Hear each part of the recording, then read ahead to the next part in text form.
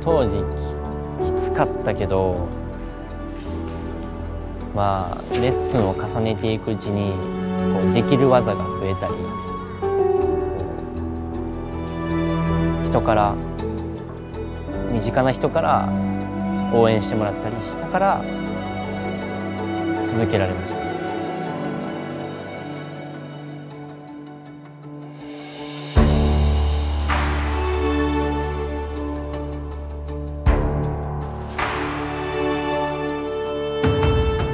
現在、えー、23歳でフリーで、えー、ダンサーをしております、えー、主にクラシックバレエやジャズダンスというダンスをしております。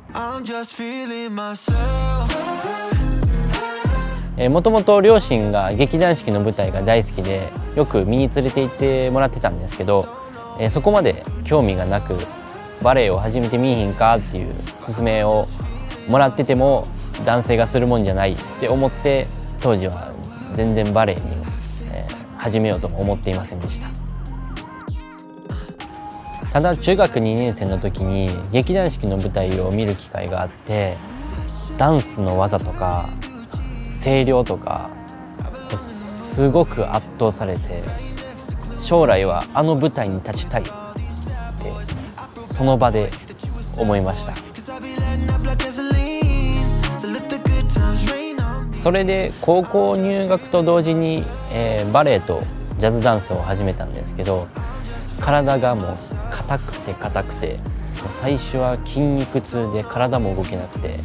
あとジャンプとか体がひねる技があるので怪我が非常に多くてその怪我との向き合い方もめちゃめちゃ苦労しました。まあ、当時すごくきつかったんですけどそれよりもこうできる技が増えたりバレエの幅っていうのが広がったり達成感とかその楽しさっていうところの方が大きかったですね。将来の目標は劇団四季の舞台で活躍することです。当時中学2年生だった僕が体感した感動だったり衝撃っていうのを次は与えられるそんな存在になれたらなと思ってます。まあ、それによって、こう、バレエだったり、